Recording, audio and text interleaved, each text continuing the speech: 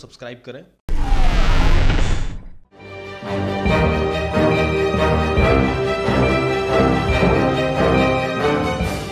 नमस्कार NBC news 24 में आपका स्वागत है। मैं हूँ मीनू शर्मा। आइए नज़र डालते हैं आज की खास खबर पर।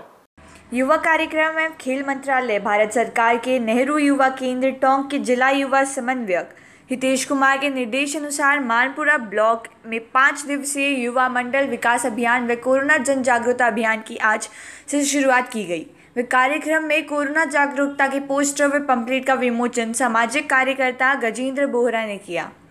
Malpura N Y V Narendra Kumar Verma व पुष्पेंद्र तिवारी ने बताया युवा मंडल विकास कार्यक्रम के अंतर्गत दो दो युवाओं की पाँच टीमें ब्लॉक के 50 गाँव में जाकर संगठन की वार्षिक कार्य योजनाओं के बारे में जागरूकता एवं नए युवा मंडलों के निर्माण में पुराने युवा मंडलों के कार्यकारिणी परिवर्तन का कार्य किया जाएगा। इस दौरान भानु प्रताप, जितेंद्र शुक्रिया, अभिषेक अजय, मनीष राजकुमार, गोवर्धन, विमल, आशीष आदि उपस्थित रहे। देखते रहिए एनबीसी न्यूज़ 24 नमस्कार।